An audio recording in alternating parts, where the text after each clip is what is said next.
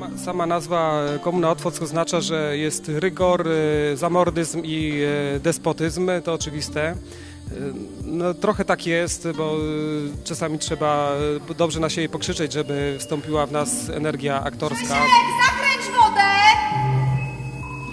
No wiadomo, nie, my nie jesteśmy aktorami zawodowymi, nam przychodzi z dużym wysiłkiem wyjść na scenę i e, obnażać się, obnażać nasze myśli, ciała, więc jest to wzajemne podglądanie, e, co kto robi na scenie, jak ktoś ładnie fiknie fikołka, no to staramy się zrobić tak jak on. siła nasza w kupie i my się przenikamy, że każdy z nas w pewnej chwili jest, e, jest kimś, tak? W pewnej chwili jesteśmy e, żoną Mila, a w innej chwili jesteśmy Maslowem i tak dalej, i tak dalej, więc e, nasze, nasze poszczególne postacie tworzą jakąś tam całość zgrabną. Raz, dwa, trzy, cztery raz. E, Spektakl pod tytułem Mil Maslow e, jest może nowym, e, początkiem nowego cyklu Komuny Otwock. Poprzedni nazywał się Dlaczego nie będzie rewolucji? Były to trzy spektakle.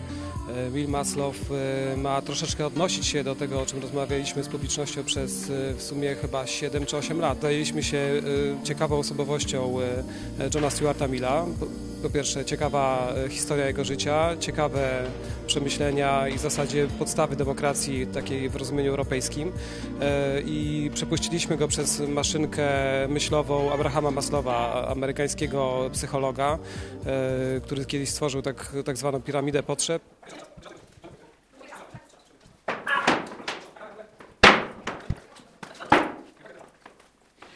w matematyczny sposób opowiedziana biografia y, filozofa.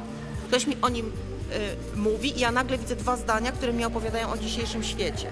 Jakby, to tak jakby umysł y, utylitarysty został rozpisany na jakieś takie kawałeczki, to jest składane i czy... I, ja, i, I to składanie dla mnie jest przerażające.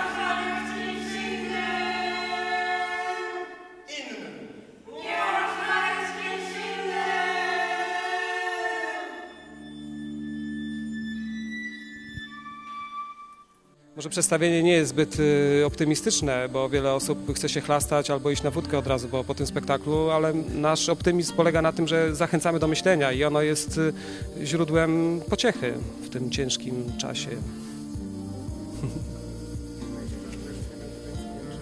Dzięki. Odpowiadam, jaki jesteś szefem! Nie no idealnym, po prostu idealnym. Ma pomysły niesamowite. Realizuje je po prostu w sposób nieoczekiwany. Jest dla nas jak ojciec, tak, jak ojciec. Słyszałeś Grzegorz?